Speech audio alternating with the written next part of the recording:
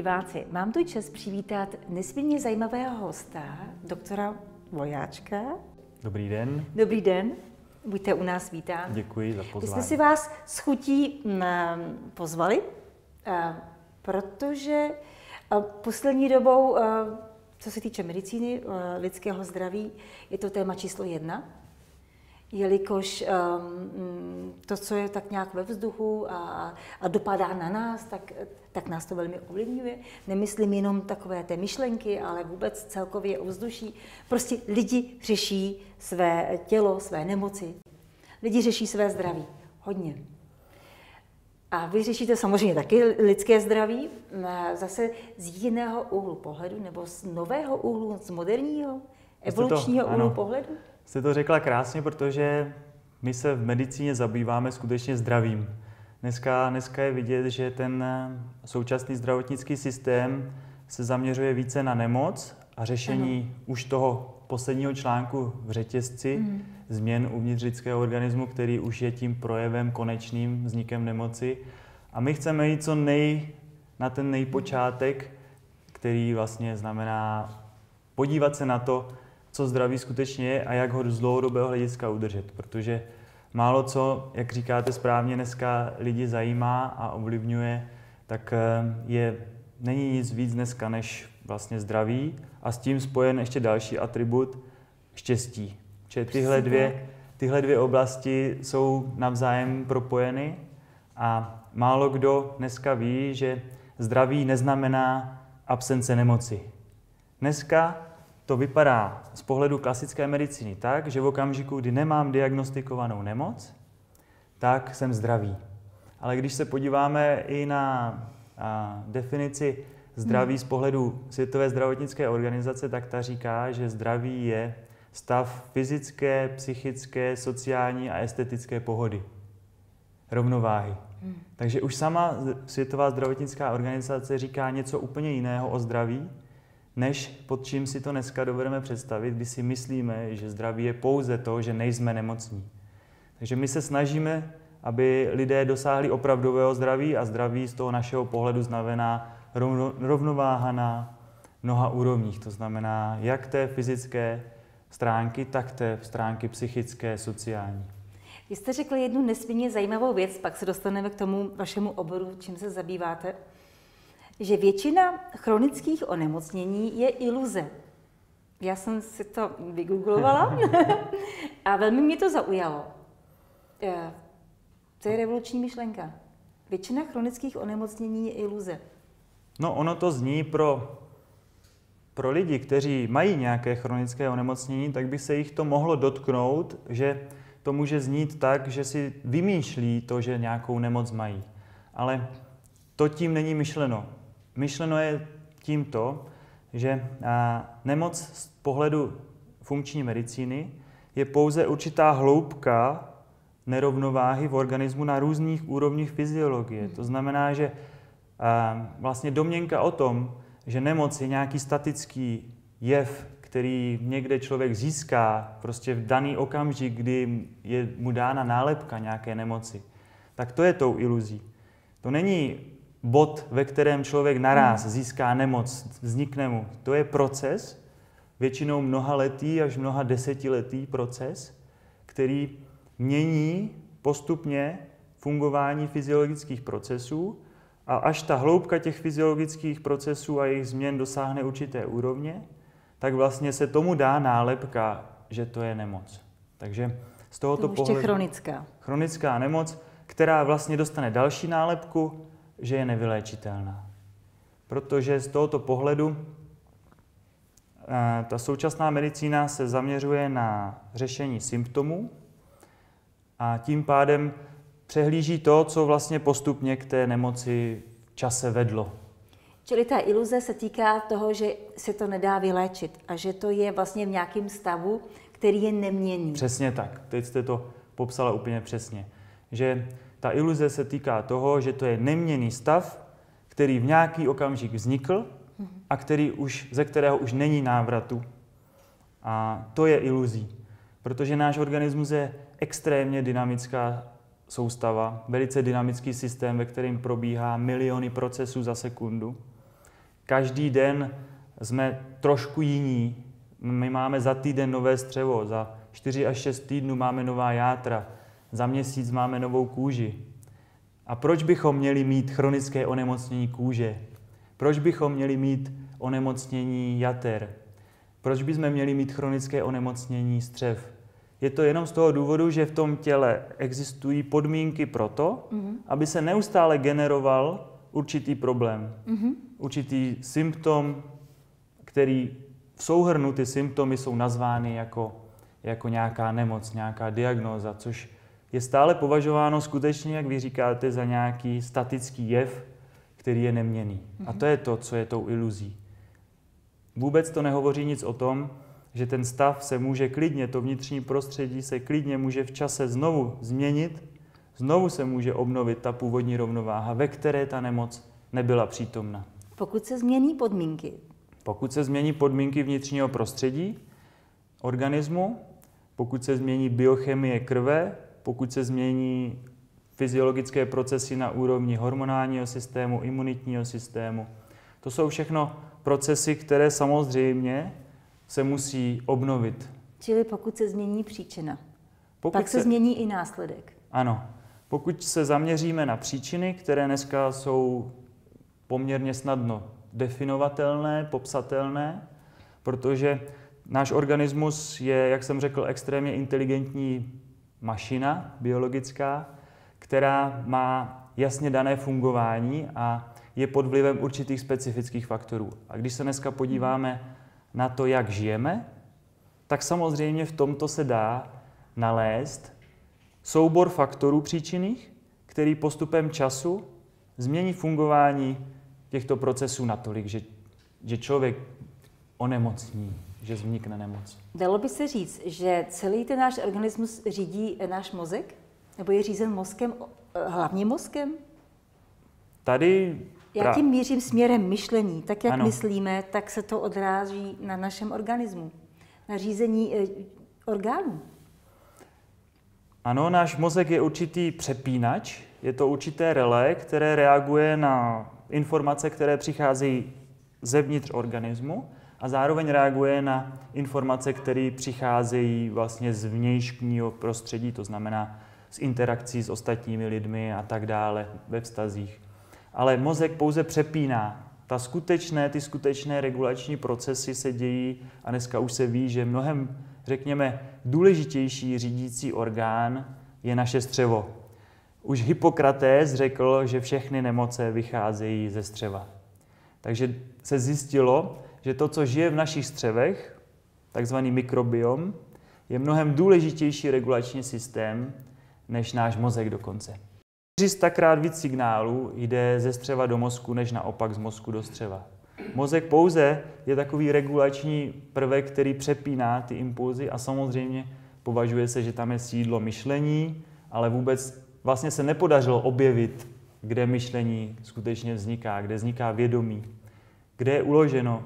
Samozřejmě jsou dneska už známí některá centra, kde se ukládají emoce, emoční traumata, emoční vzorce, ale pořád je to obrovská záhada, jak vlastně ten náš organismus funguje a které jsou vlastně ty orgány skutečně důležité z pohledu řízení. Mm. Existují teorie i praxe, že vlastně tam, kde sídlí střeva, to znamená, se tomu říká solar plexus, mm-hmm. sluneční pleteň, třetí čakra, neboli vnitřní dítě a neboli říká se, že tam sídlí jak duše, tak lidské bytí, to znamená ego, čili to hmm. pozemské já i to mimo pozemské já. Všechno se centruje tam, kde vlastně sídlí naše trávení, střeva. Takže vidíte, že to vlastně, a ta současná medicína, ta moderní medicína, která, za kterou my funkční medicínu považujeme, protože to je určitý evoluční princip, který se vyvinul z klasické hmm. medicíny, takže se nejedná o alternativní medicínu, tak on sám považuje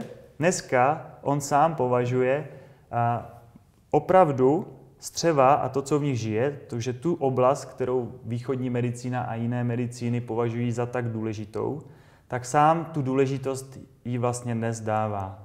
Takže my jsme se postupně vrátili k tomu, co skutečně je v tom našem fungování lidského organismu důležité. Takže dnes se to skutečně obrátila ta pozornost eh, velice směrem k tomu takzvanému střevnímu mikrobiomu. Dneska po celém světě běží takzvaný eh, Human Microbiome Project, to znamená projekt lidského mikrobiomu. A každý den vychází nové a nové studie a nové a nové informace, jak je to důležité jak pro naše fyzické zdraví, tak dokonce pro naše psychické zdraví. No, pokud eh, vyjadřujeme, nebo pokud prožíváme veškeré emoce, tak vždycky se chytneme za žaludek. Ano. Já se většinou nechytám za hlavu, když mm-hmm. mám blbý pocit, tam se chytám za hlavu, když mám blbý myšlenky. Mm-hmm. Naštěstí toho moc není. Ale eh, jak jde o pocity, vždycky se chytáme mm-hmm. za, za břicho. Že jo? Ano. Maximálně za srdíčko.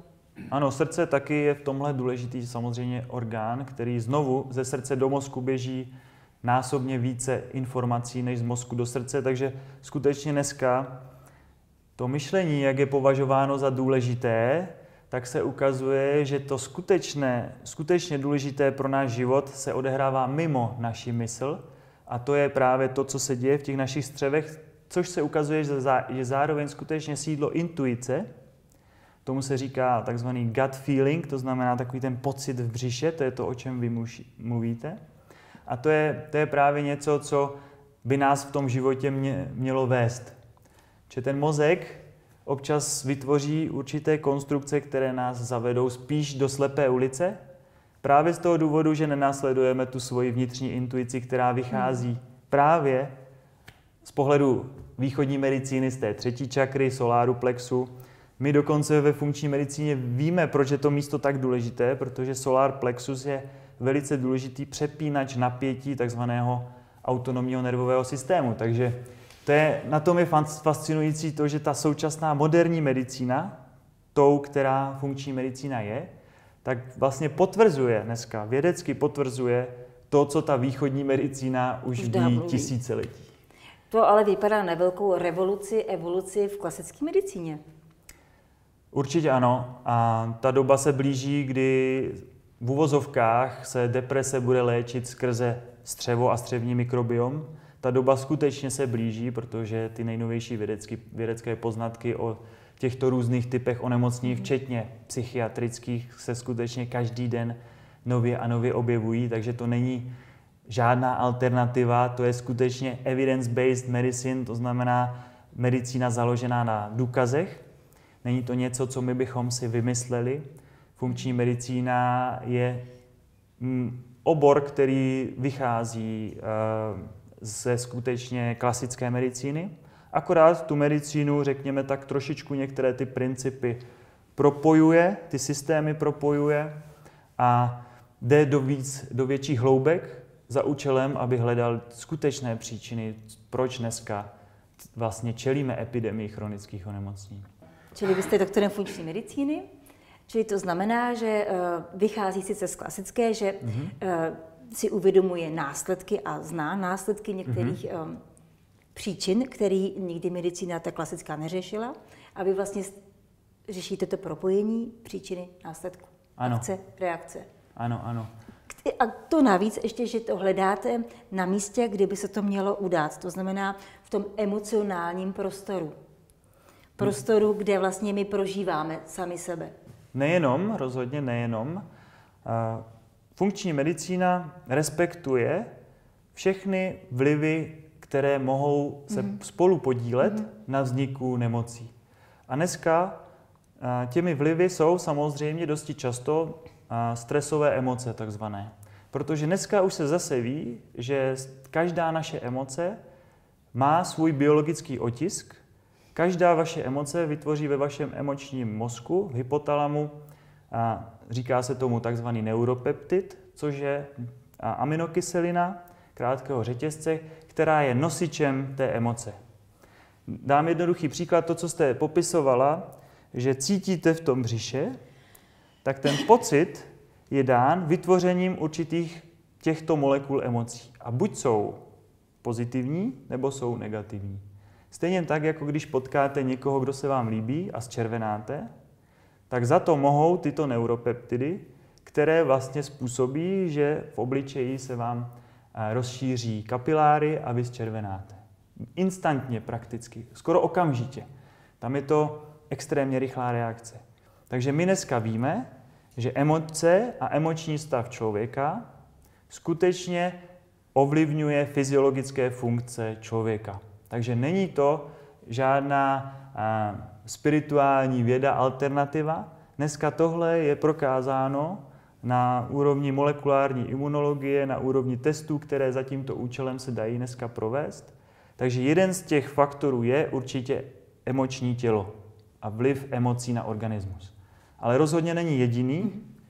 To znamená, lékař funkční medicíny se zajímá ještě o ty další faktory a to je hlavně o to, v jakém prostředí se nachází člověk, v jakém prostředí žije, co ho z toho prostředí dále ovlivňuje, kvalita vzduchu, kvalita vody, strava a jakým způsobem člověk žije. To znamená, jak spí, jak sportuje, jakou má práci, jestli je to práce sedavá nebo jiná, jestli je neustále zavřený někde v budově nebo, nebo je někde na sluníčku, venku, na vzduchu. To všechno jsou faktory, které ovlivňují neustále fungování našeho těla. A v těchto třech oblastech, čili životní styl, prostředí a psyché, se dají najít u každého člověka určitý jeho specifický soubor právě těchto příčinných faktorů, který mu způsobí v čase nemoc. Tímto, tímto se zabývá obor, který se nazývá epigenetika, hmm. což znamená, že epi znamená nad. Je to obor, který studuje faktory, které ovlivňují naše geny. Hmm. Naše zapínání a vypínání našich genů v čase. Takže to je extrémně zajímavá nová, nový způsob, nový princip, extrémně zajímavý nový princip v medicíně, který respektuje to, jak žijeme dnes. Ne to, co jsme se učili ve škole před 10, 20, 30, 40 lety. Protože občas to vypadá, že ta medicína používá stále stejné principy uvažování, takzvaná dogmata, mm-hmm. ze kterých zatím není jakoby ochotna příliš uhnout. Takže my se snažíme jenom respektovat moderní poznatky a moderní vědu a život, ve kterým v 21. století žijeme. Samozřejmě, když se podíváme na to, co nás dneska ovlivňuje, tak je to úplně něco jiného než před 10, 20, 30, 40 lety. Musí dojít k vývoji.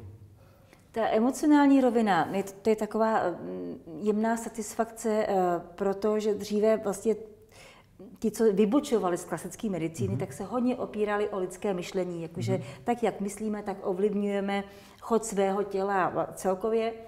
A eh, ta, ta jinová, ta ženská část nás, ta, ta, ta, ta ženská složka nás, to znamená ty city, ty emoce, to vždycky bylo úplně až na posledním místě, tak eh, to myslím jen tak sama za sebe, tak takový malá, malá vsuvka, poznámka, že to taková určitá satisfakce i pro část nás, která svým způsobem, jak jste řekl, je téměř nejdůležitější, nebo se jev, začíná jevit jako velmi podstatná.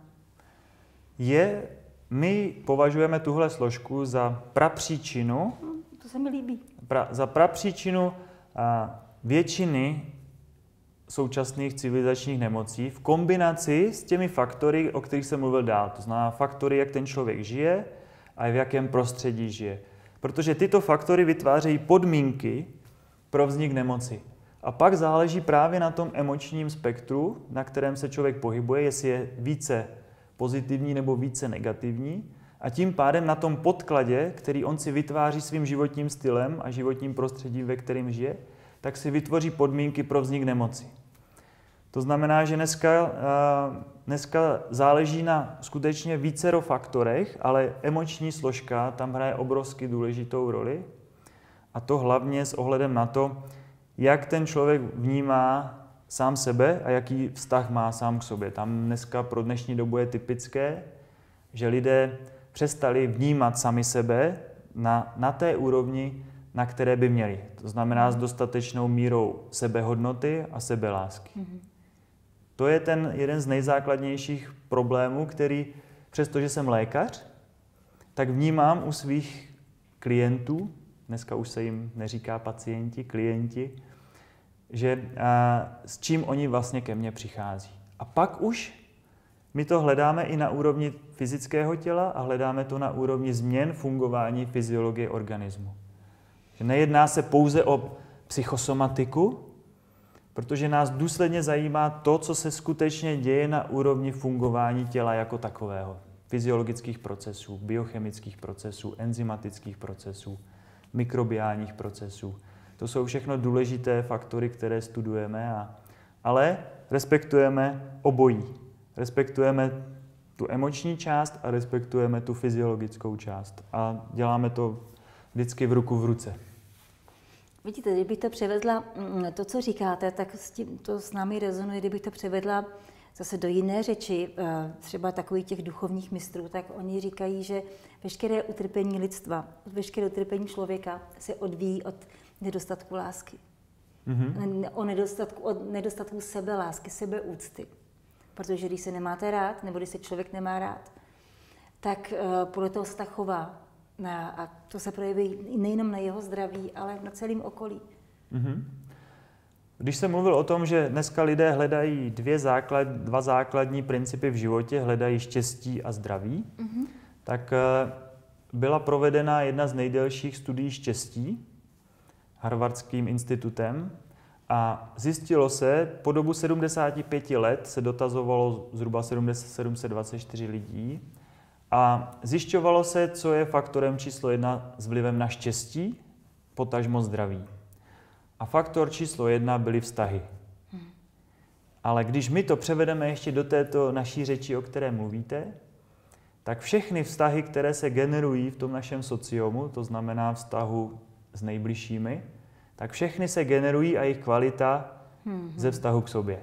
Přesně. Takže všichni moji klienti, kteří ke mně přicházejí, tak mají určitou míru nesebehodnoty, mm-hmm. nesebelásky a mají mm-hmm. narušen vztah k sobě. Ale tím znovu chci jenom upozornit na to, že naše medicína není pouze o psyché a psychosomatice a emocích. My respektujeme tady tohle a jdeme touto cestou, ale následně sledujeme, co se tam v důsledku této nízké sebehodnoty a sebelásky a díky tomu vytvoření nekvalitních vztahů v sociomu, většinou následkem toho taky nekvalitního životního stylu, že ten člověk většinou si najde nějaké unikové cesty ve formě různých berliček, takže nemá úplně adekvátní stravování, dost často se snaží upracovat, dost často nespí kvalitně, dost často se snaží buď usportovat, nebo naopak nesportovat. Hmm. A tyhle faktory všechny vedou v čase ke vzniku nemoci.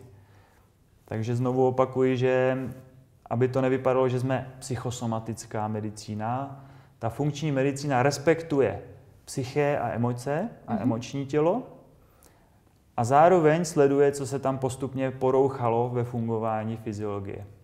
Jistě, když vám přivezu eh, rozbitý auto do opravny, mm, tak eh, vy můžete nad tím meditovat a studovat, eh, proč se rozbilo. Ale vy musíte taky odstranit tu příčinu, že jinak s tím autem se zase člověk ne, nevrátí na zpátek domů. Ano. Čili vy vlastně odstraňujete následky, mm-hmm. ale, ale zajímáte se i o příčiny, aby se to znovu neprojevilo. Přesně aby tak. se to neopakovalo. Aby to potom nebylo chronický. Přesně tak.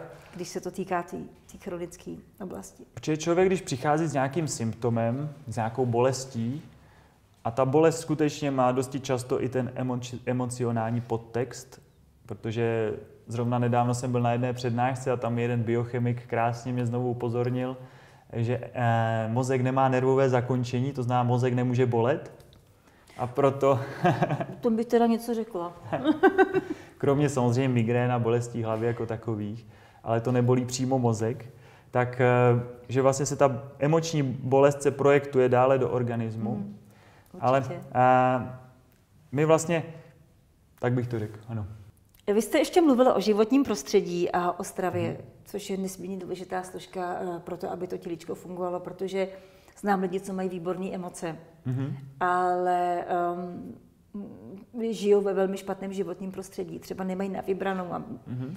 a i to se na ně nějakým způsobem podepíše. A znám lidi, co žijou v šíleném životním prostředí, teda velmi dobrým životním prostředím, emocionálně nebo vůbec celkově na tom nejsou moc dobře a taky se to na tom těle projeví. Máte pocit, že, nebo co jste takhle vysledoval, to životní prostředí celkově na planetě se zlepšuje, zhoršuje, a jak se projevuje generačně na nás, protože hmm. naše rodiče žili v jiném životním prostředí, než žijeme my. A naše děti taky budou žít v jiném životním prostředí. V tom samém městě, kterým žijeme. Já si ještě sama vzpomínám, eh, před 20 lety se v Praze nedalo dýchat. Mm-hmm. Procházela jsem centrem Prahy a říkala jsem si, bože, tak udušených, lituju lidi, co tady žijou v centru Prahy. Teď mám pocit, že tam je celkem relativně lepší vzduch, ale zase třeba strava, když jsme u stravy, tak ještě, když jsem byla já malá, ta strava byla mnohem přirozenější. Ne, mhm. nebyla tam tolik, nebyla tak chemicky ošetřená. Dneska zase litují lidi, co, um, co neznají, nevědí, že existuje přirozená zdravá strava eh, od soukromníků, farmářů z zahrad. Nebo, nebo prostě to neprovozují a, a, a jedí velmi nezdravě. Jak to vidíte vy? Ty faktory se v čase samozřejmě různě mění. Některé se zlepšují, jak jste uvedla, některé se zhoršují. Co se týká toho životního prostředí jako takového, tak tam eh, eh, si myslím, že nedochází k nějakému drastickému zhoršování. Samozřejmě jsou taky záleží na oblastech, kde žijete. Tak, ano. A celý, celé je to o tom, že ten náš organismus potřebuje určitou formu vyvážení pozitivních a negativně působících faktorů. A ten poměr, který by měl být takzvaně fyziologický, to znamená rovnováhu a zdraví udržující, není nijak striktní. Eh, dokonce někteří právě naši spolupracující vědci a fyzici to spočítali na 70 ku 30. To znamená, že na váš organismus, abyste udržela zdraví, by mělo působit 70% pozitivních faktorů a 30% negativních. To je poměrně dost. Aby, a přesto budete zdravá a budete v rovnováze. Rozumím. Jenomže mezi těchto 70 a 30% faktorů pozitivních, negativních se počítá všechny ty, o kterých se tady bavíme. To znamená, počítá se mezi ně emoce. Vaše emoce se za den rozčlení na ty pozitivní a negativní. Vaše myšlenky se rozčlení na pozitivní a negativní. To, co sníte, bude pro vás fungovat buď pozitivně nebo negativně. To, co nadýcháte, to, co vypijete. A pokud tento soubor pro vás, specificky pro vás, protože každý z nás má ty systémy nastavený trošku jinak, citlivost má trošku jinou ke každým z těchto faktorů, tak pokud v suma sumárum na konci dne budete mít 70% pozitivních faktorů a 30% negativních, tak se vám udrží z dlouhodobého hlediska zdraví. Proto je potřeba jenom se přizpůsobit tomu, v jaké životní situaci a v jakém mhm. prostředí žiju. Takže když vím, že mám více stresu, to znamená, že se mi přikládá více na tu stránku negativních aspektů, tak musím v něčem přidat. To znamená, že musím lépe jíst, nebo musím se mm-hmm. lépe hýbat, mm-hmm. nebo častěji hýbat, nebo dělat jogu, nebo dělat relaxace, meditace, nebo si dát nějaké uh, bylinné prostředky, které mi v tom pomůžou. A tím pádem jsem schopen tu rovnováhu zachovat. Ale to, co se dneska děje, je, je evidentní, že lidé se dostanou do určité formy napětí, do určitého stresu, do určitých a, stresových emocí. A oni na to zareagují tak většinou, že samozřejmě chtějí to dohnat tím, že si chtějí to uspokojení dohnat jídlem. Mm-hmm. Takže klasika. většinou ti lidé skončí na Nejlépe sladkým. sladkým jídle, na přejídání se, na, že přestanou sportovat nebo naopak sportují nadmíru, jo, dohánějí to na sociálních sítích, po nocích někde, televizí, filmama a tím pádem se jim nakumulují ty negativní faktory a tento poměr se zcela změní. A v čase už to vede k tomu, že se začínají měnit ty fyziologické procesy a my už přesně dokážeme, když ten klient k nám přijde, tak my přesně už dokážeme popsat, hmm. jak se mu ta fyziologie mění a kde, na úrovni hormonálního systému, imunitního systému, právě toho autonomního nervového systému, který reaguje na stres, na úrovni mikrobiálního systému. A my to všechno jsme schopni popsat, co se mu tam vlastně za tu dobu změnilo, že to způsobilo vznik symptomů. V prvé řadě většinou lidi netrápí to, že mají cukrovku, ale že mají nějaký symptom. Únavu, mm-hmm. bolest, a Tlouška, nadmíra, tlou, přibírání, mm-hmm. Poruchy menstruace často u žen, ale dneska je typické hlavně nějaká forma bolesti, ať fyzické nebo psychické, a nějaká forma únavy a vyčerpání. To jsou naprosto typické symptomy, které na začátku jsou společné pro prakticky všechny civilizační další onemocnění, protože z nich se vyvíjí to další, protože tyhle symptomy jsou známkou toho, že už se ta fyziologie začíná narušovat. Hmm. A my jenom sledujeme, v jakém bodě ten člověk přichází, co jsou ty faktory zásadní v tom jeho životním stylu, které ho ovlivňují, to znamená právě kde žije, jak žije, jaký je to emoční zabarvení té jeho životní situace. A tím pádem se snažíme identifikovat, jak v tom jeho životním příběhu nastavit proces změny. To je velmi moudré a celistvé. Snažíme se o to a připadá nám to extrémně logické. Určitě. Že když se podíváme na to, jak náš organismus funguje a pod jakým vlivem je a přes tu jeho extrémní inteligenci a dokonalost ve fungování, proč se dostane do potíží. To přece dneska není absolutně nic složitého identifikovat. Že když se podíváte na svůj den, co, pod jaký vliv se váš organismus dostane, tak je to přece extrémně jednoduchý. Nějakou dobu jste spala, nějakou dobu vstanete, buď si zacvičíte nebo nezacvičíte, něco posnídáte, jdete do práce, která vás buď baví nebo nebaví, máte na pracovišti vztahy, které vám jsou příjemné nebo nepříjemné, mezi tím si dáte nějakou svačinku nebo nedáte, dáte si nějaký typ obědu, dáte si další svačinku nebo nedáte, dáte si večeři, jdete domů a doma máte znovu buď vztahy, které jsou pro vás uspokojující nebo ne. A zase v nějakou dobu jdete spát, ještě mezi tím je vliv toho dneska modrého záření, takže vliv samozřejmě obrazovek nejrůznějších, telefonů, počítačů, televizí. No a pak nějakou dobu jdete spát. A takhle se to děje den co den, týden co týden. A v mhm. tomhle jsou obsaženy ty faktory, které buď hrajou pro vás, buď tu rovnováhu udržují vašemu organismu, anebo naopak tu rovnováhu vlastně narušují a z té rovnováhy vás dostávají, z toho, jak my říkáme, z vašeho středu. Mm-hmm. A my jenom hledáme, co u toho člověka to znamená, jaké ty faktory to jsou a přesně popisujeme, protože spolupracujeme s nejrůznějšíma laboratořema po světě, tak se snažíme přesně popsat, proto je to medicína, proto to není psychosomatika pouze, proto to není alternativní medicína, protože my prostě a jednoduše otestujeme, co se v té fyziologii změnilo. A na základě toho jsme schopni cílit tu léčbu.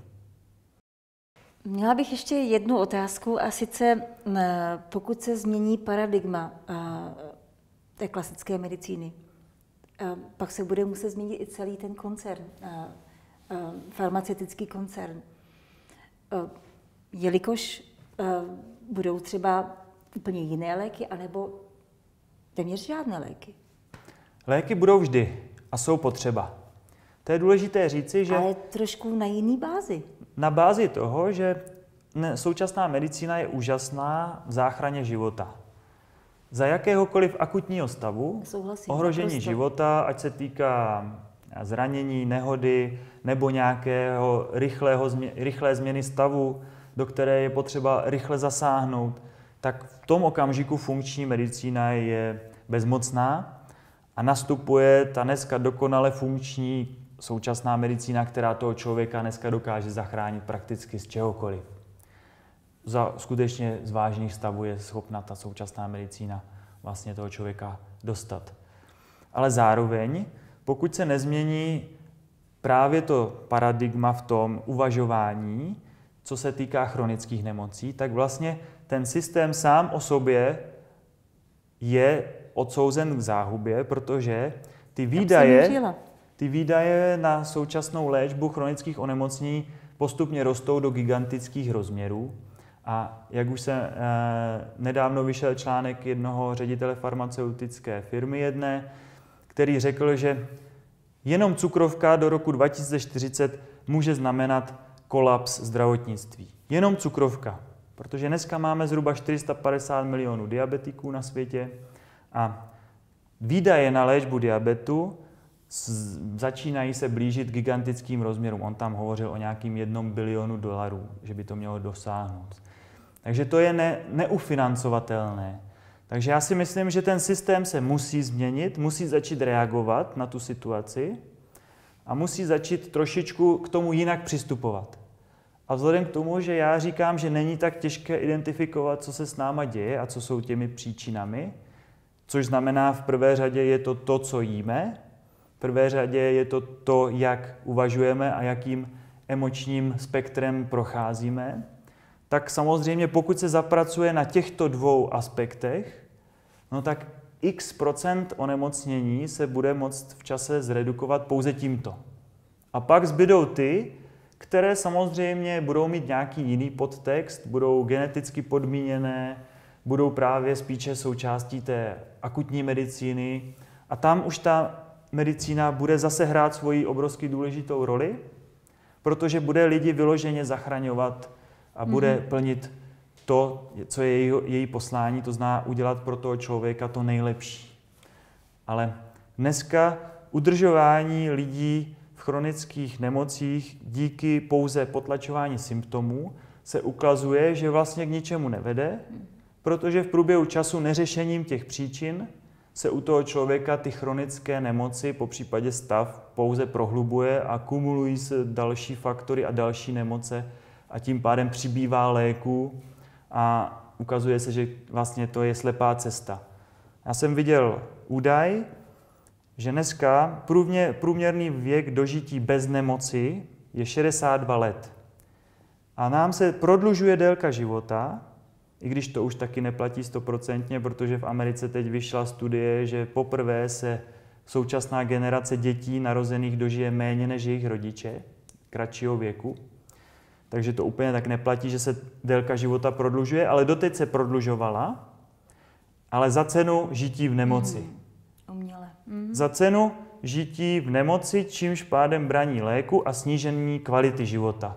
Protože když se dneska podíváme na starý, staré lidi, tak výrazně trpí tím, že sice žijí relativně dlouho, ale nekvalitně. Žijí s bolestí, žijí s poruchama pohybového aparátu, žijí za cenu braní léku, čímž pádem samozřejmě všem dneska je jasné, že léky jsou takzvaná xenobiotika, to znamená látky tělu cizí.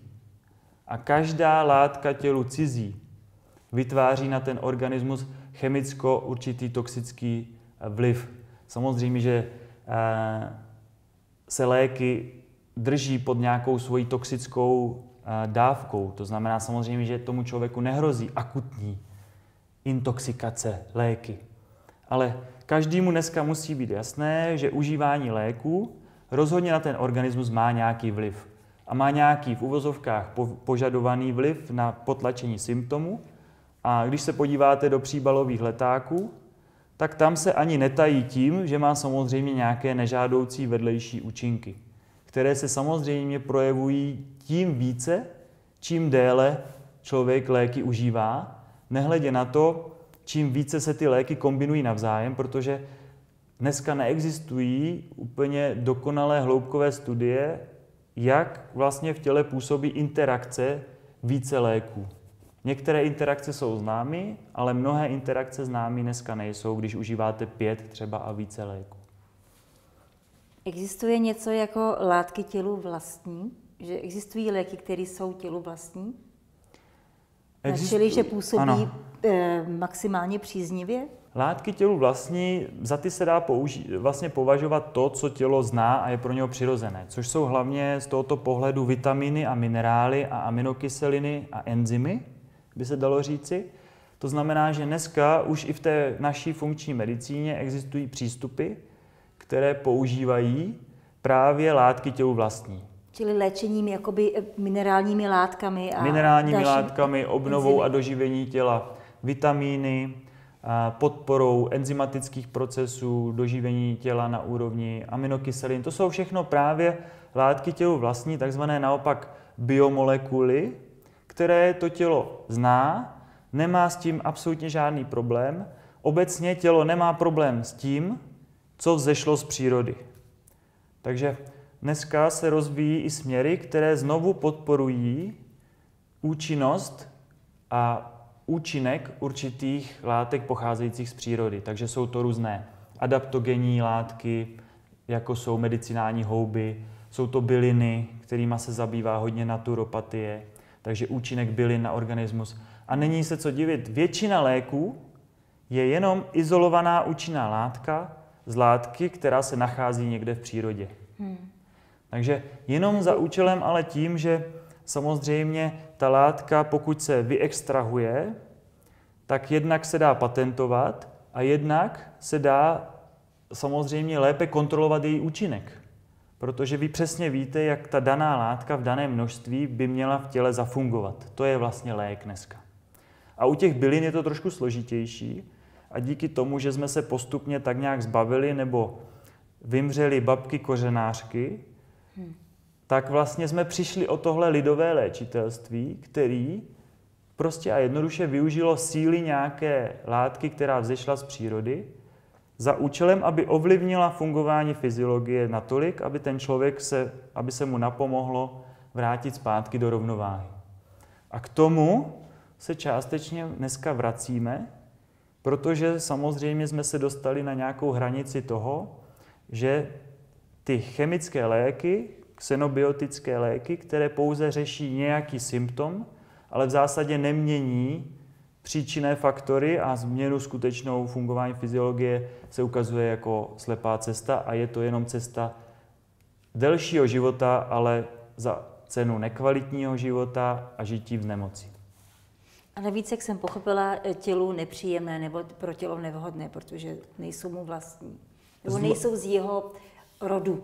Z dlouhodobého hlediska. To je to, že musíme pořád rozlišovat to, že Rozumím. já v okamžiku, když mi půjde o život, Balgin, tak... tak budu vděčný za to, že mě akutní medicína a současná medicína s tím, co umí zachránit. Rozhodně. Dá mi nejmodernější antibiotikum, udělá nejmodernější zásah na úrovni traumatologie, když bude potřeba, a já přežiju. Rozhodně. Ale v okamžiku, kdy bych onemocněl chronickou nemocí a potřeboval bych akutně pomoc, protože ty symptomy dosáhnou takového charakteru, že už těžko jsou zvládnutelné nějakými přirozenými procesy, protože ty jsou pomalejší, tak bych si klidně ten lék dal taky. Ale zároveň bych se zeptal, proč jsem nemocný. A to proč je vlastně nejdůležitější proces celého toho uh, principu funkční medicíny, protože ten člověk musí pochopit, proč onemocněl. A za tím účelem pochopení a s tím vědomím, proč onemocněl, se může vydat na cestu změny. Mm. Takže ta funkční medicína a to, co děláme my, rozhodně není pro všechny, protože dneska existuje pořád velký spektrum lidí, kteří si jdou k tomu lékaři vlastně pro ten odpustek hmm. za ten svůj, hmm. za ty svoje hříchy v tom svém, v uvozovkách hříchy, v tom svém životním stylu a chtějí vlastně, aby to ten lékař nebo ten lék za ně vyřešil. Takže ke mně, když někdo přijde a řekne mi, pane doktore, co se mnou uděláte, tak já řeknu nic a nashledanou. Protože já po těch lidech chci, aby oni sami byli aktivním parťákem v té souhře, ve které procházíme tím principem změny, transformace, která vede potom ke skutečnému vyléčení. Takže rozhodně to není pro všechny, takže já v žádném případě nezatracuju současnou medicínu, protože vím, že samotní lékaři jsou pod tlakem určitého spektra lidí, kteří chtějí od nich ten lék. Takže Mluvíte to... teda o zodpovědnosti. O zodpovědnosti za sebe, za své cítění, myšlení, za své tělo, za své chování. Ano, přesně tak.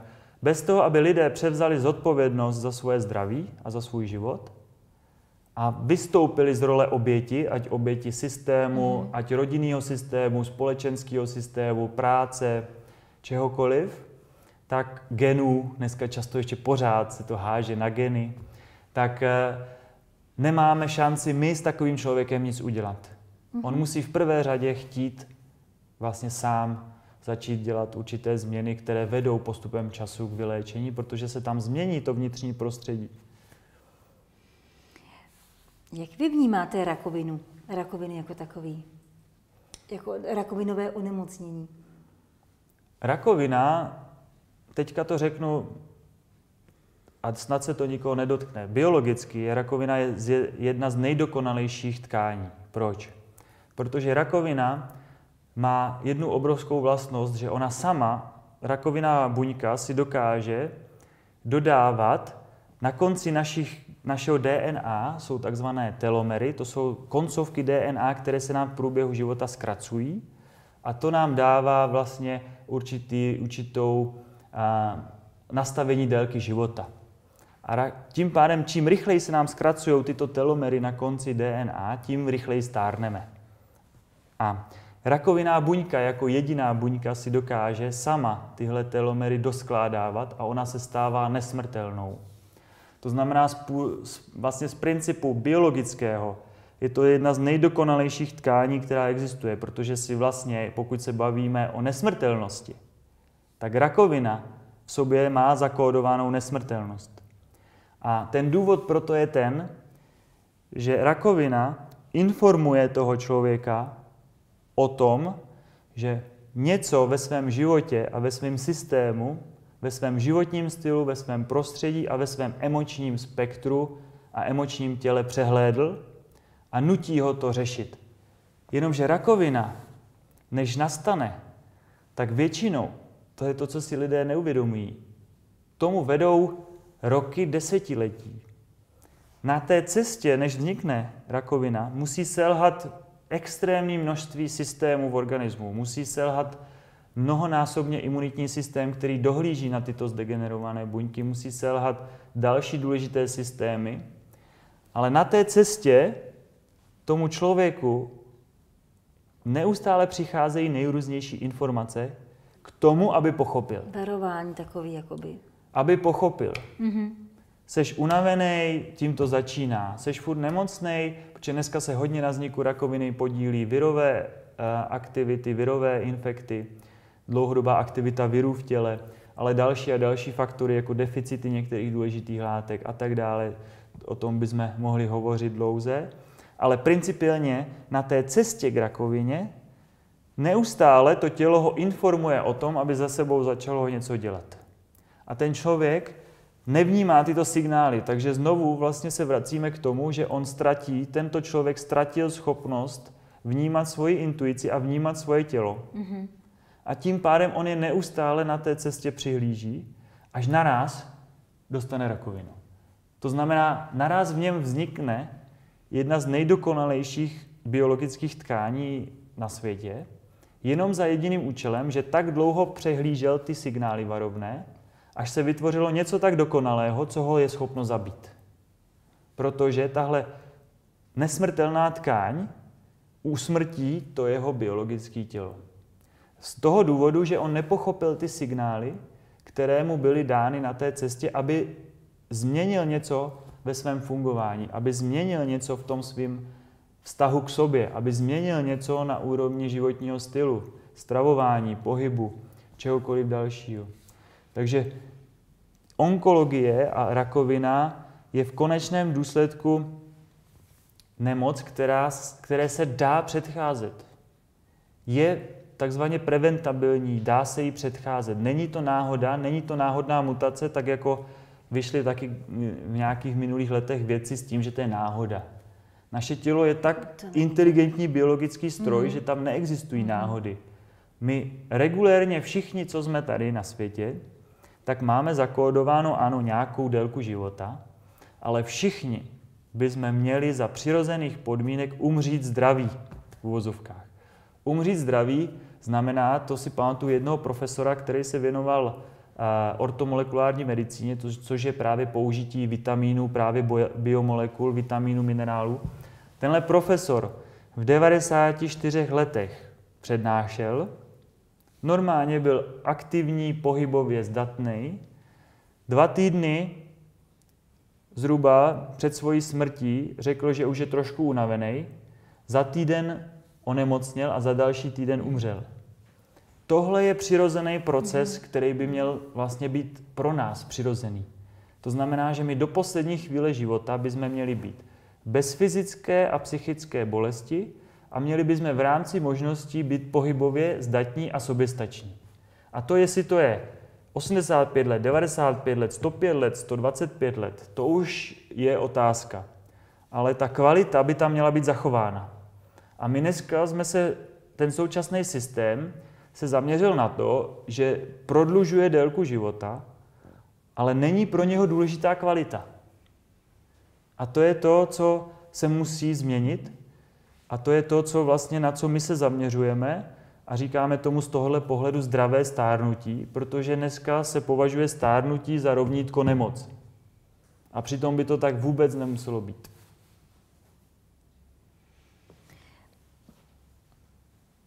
O té rakovině, já bych tam ještě chvilku zůstala v tom tématu, protože e, poslední dobou e, je jich víc než dřív. Mm-hmm. A často se na to lidi ptají, jak je to možné. A, a jak je možné, že třeba i děti mají rakovinu, když třeba se sotva narodí a nestačí ještě udělat spoustu věcí mhm. chybně. Mm-hmm. Samozřejmě, že my nejsme schopni vidět v souvislosti jejich minulé životy nebo jejich genetické zatížení a tak. Jak vy se díváte třeba na rakovinu u dětí? Asi velmi podobně, že? Je to složitá otázka, ale v roce 2005 udělala Greenpeace studii, kde studovali zátěž toxickými Nebo látkami. U zvířat. Zátěž mm-hmm. chemickými toxickými látkami v pupečníkové krvi matky.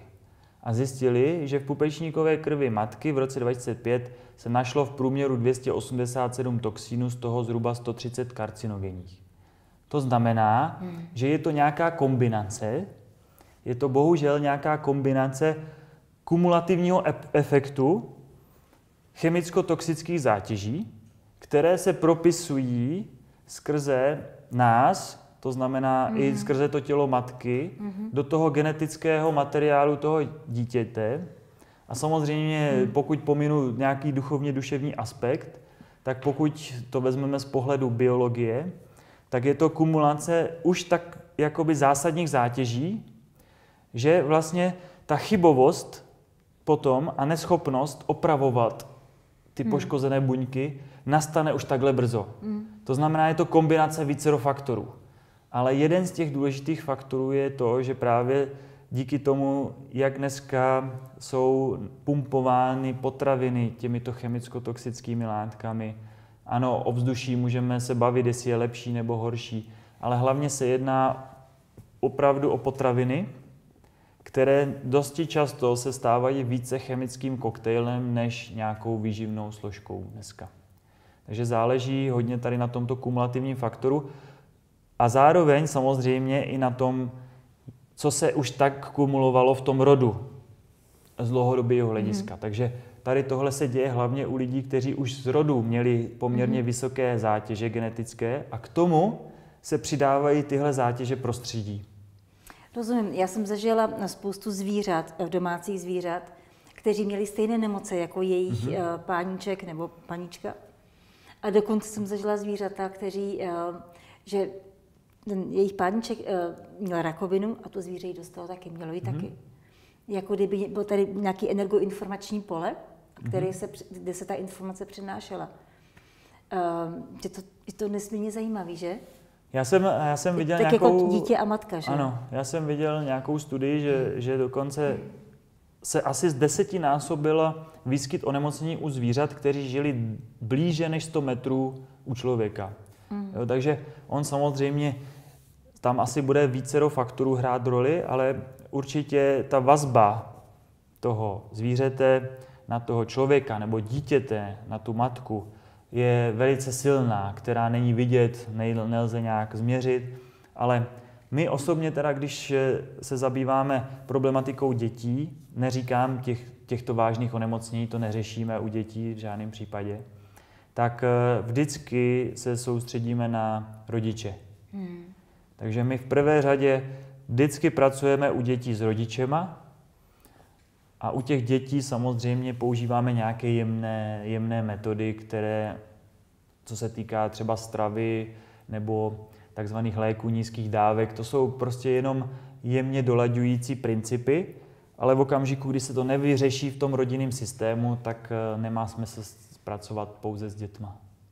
Já bych se na tu rakovinu ještě na závěr podívala ještě z jiné strany. Existuje nějaká studie nebo vůbec nějaká myšlenka, že když ta rakovina je tak dokonalý systém, mm-hmm. jestli se dá v tom dobrém použít, uh, jestli vůbec to tělo je schopné, někdy do budoucna by bylo schopné uh, se přenastavit na tenhle ten systém buněk, jakože uh, téměř nezničitelné buňky, téměř uh, všemu odolné buňky.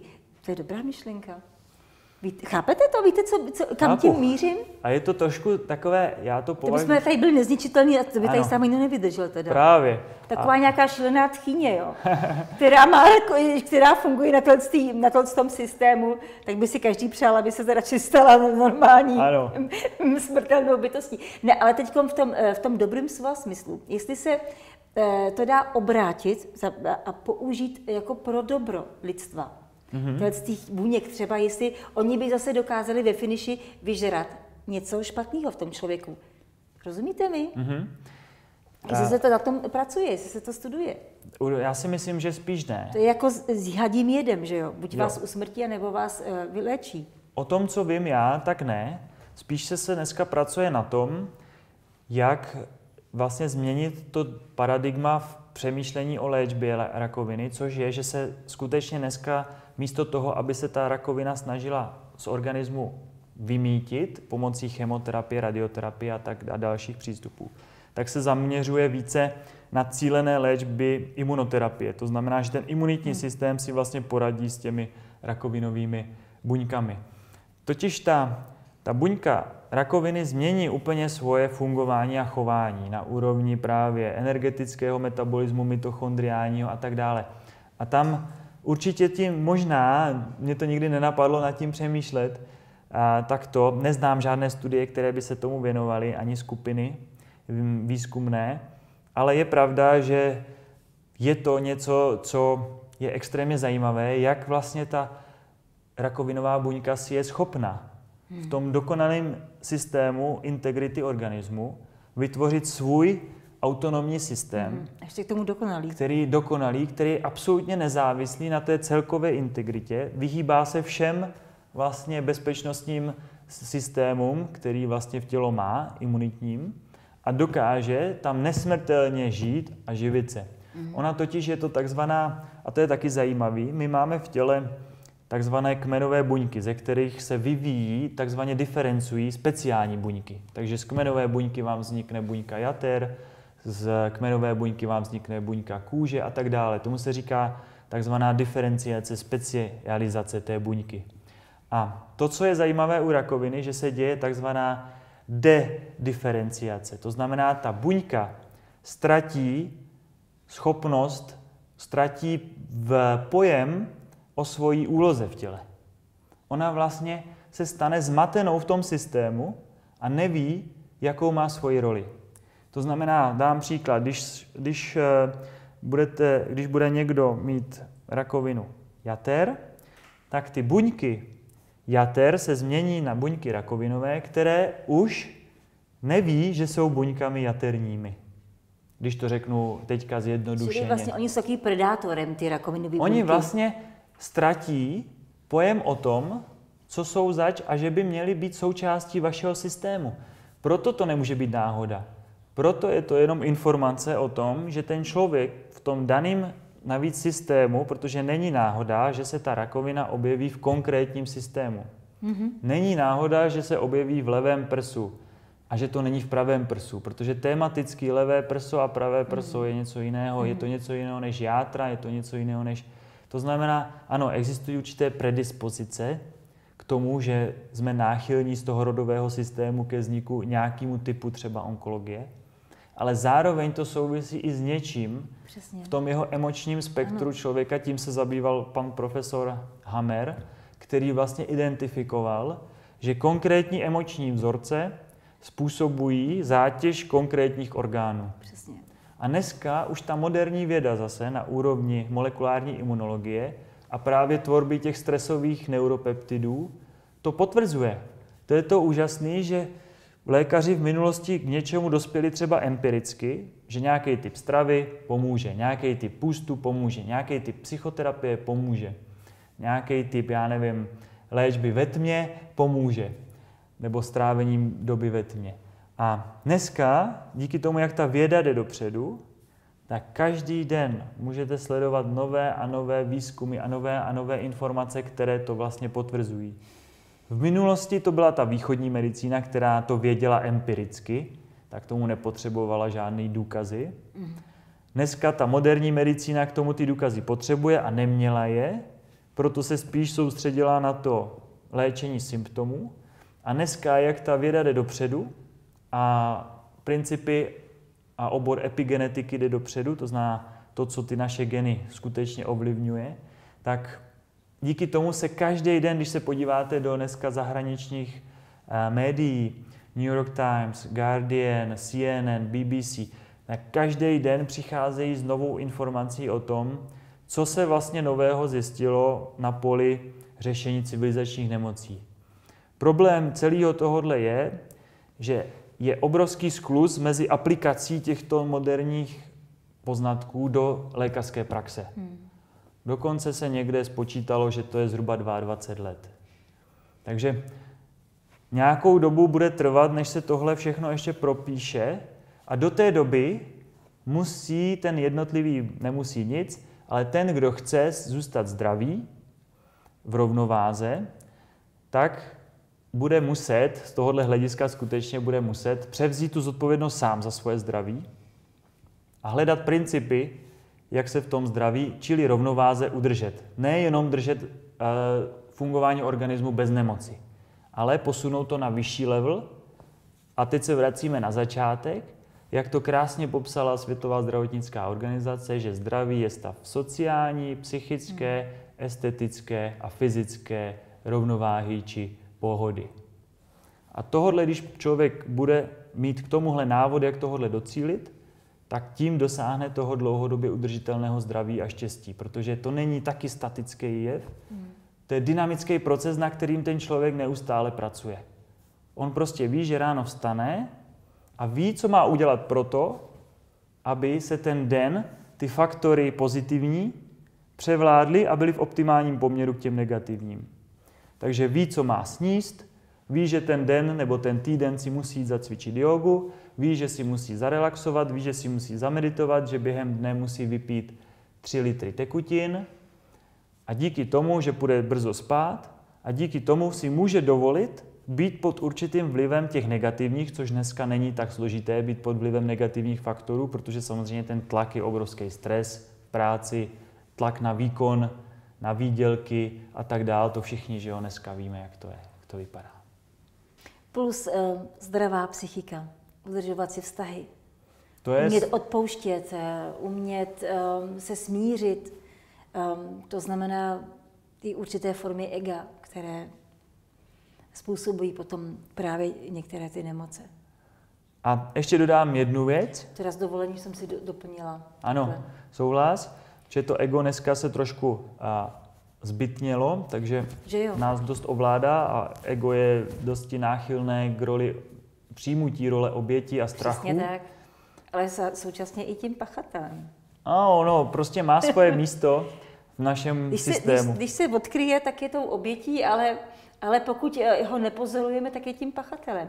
On je pěkný lišák. Je, je. je počitý lišák, počitý jeden. Jo. Ano, ano, je to dost... Se to trochu odlehčila, dost, ale... Dost ty lidi to svírá dneska, ano, protože tu svoji vnitřní osobní důležitost a separaci od ostatních lidí, tak za tu skutečně může naše ego zbytnělé. Mm-hmm.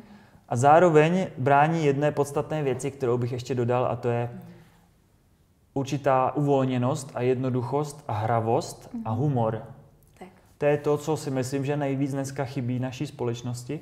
Určité odlehčení, nebrat se sám sebe tak vážně, nebrat ten život tak vážně, netrápit se věcma, který mm. nemůžu změnit a díky tomu si udržovat určitý pocit vnitřní lehkosti a jednoduchosti, protože lidé se dneska dosti často zapletou do sítě složitostí, do toho potom si najdou nějaké hm, témata, které, na které to můžou hodit, tu svoji nespokojenost, kterou se můžou zabývat. Dneska stačí si pustit televizní noviny, to je černá kronika, že jo? to ne, nemá nic společného s tím, aby to lidi motivovalo k tomu být zdraví a spokojení.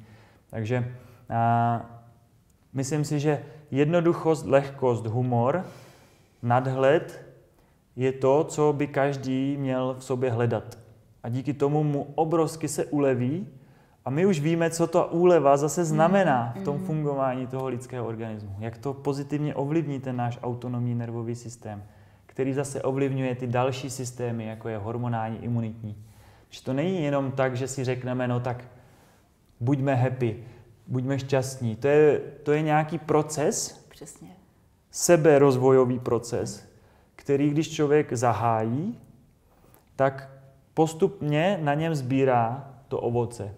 Ale pokud ho nezahájí a myslí si, že mu to padne do klína, tak potom je dosti často dneska závislý na tom, že dřív nebo později se mu objeví problém, nemoc a on navíc se snaží pouze vlastně zablokovat tu nemoc tím, že si jde pro ten lék. A tím se nic ale nezmění. Jenom se mu jakože uleví na úrovni nějakého symptomu, ale nezmění se nic podstatného v jeho systému. Jak fyziologickém, tak emočním, tak myšlenkovém, prostě nic se nezmění zásadní. Čili my už se blížíme k takovému určitému výstupu toho našeho povídání. Já už vás tady přestanu trápit. Vaše, a nicméně to, co povídáte, je nesmírně moudrý a, a má, má logiku a do sebe všechno zapadá. Ale myslím, že nad tím vším jste, moc hezky řekl, že vlastně je to u určitým životním postoji k věcem. Netrápit se zbytečně, ne, ne, ne, jak bych to řekla, ani se, se mi jakoby nepovyšovat, neponižovat, prostě být ve svém středu, jste hezky uh-huh. jednou řekl, být přirozený uh-huh. A tak nějak ten život brát s lehkostí. A když se podíváme úplně jakoby víc do hloubky, tak je tady určitý, jsou tady určitý formy iluze a formy opravdovosti. A čím méně člověk žije v té iluzi o sobě, o tom vnějším světě, tím je taky svým způsobem víc v rovnováze. Tím pádem je zdravější. Mm-hmm. Když já takhle pozoruju lidi, eh, tak třeba lidi, co mají velmi silný ego. Eh, a to znamená určitý uhnutý úhel pohledu na život, na sebe. Určitý uhnutý eh, úhel svého chování, postoje k sobě a tak.